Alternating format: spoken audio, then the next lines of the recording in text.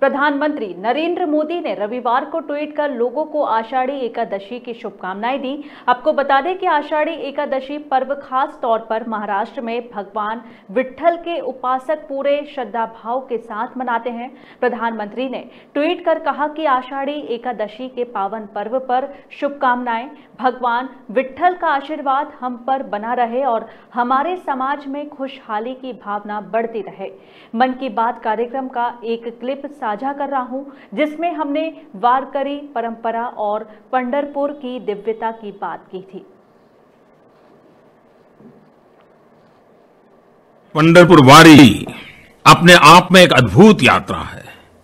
साथियों, आषाढ़ी एकादशी जो इस बार 23 जुलाई को थी, उस दिन को पंडरपुर वारी की भव्य परिणति के रूप में भी मनाया जाता है।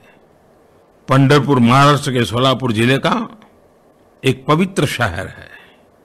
अषाढ़ी एकादशी के लगभग 15-20 दिन पहले से ही वारकरी, यानी तीर्थयात्री, पालकियों के साथ पंडरपुर की यात्रा के लिए पैदल निकलते हैं।